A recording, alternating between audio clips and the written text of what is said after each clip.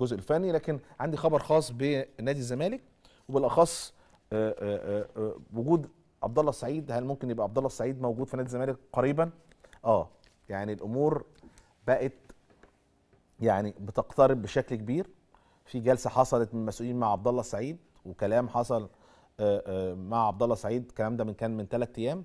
والمنتظر فقط هو رأي فيريرا في وجود عبد الله السعيد في الفترة آه، القادمة المشكلة مع عبد الله إن عبد الله لعب الكونفدرالية وده رأي فريرا يعني.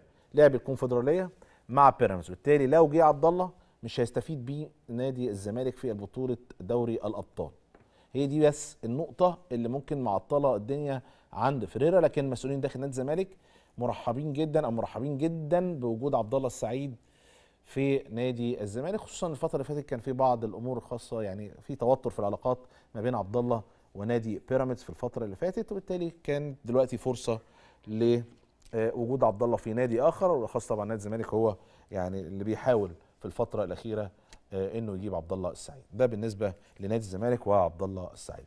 هطلع لفاصل.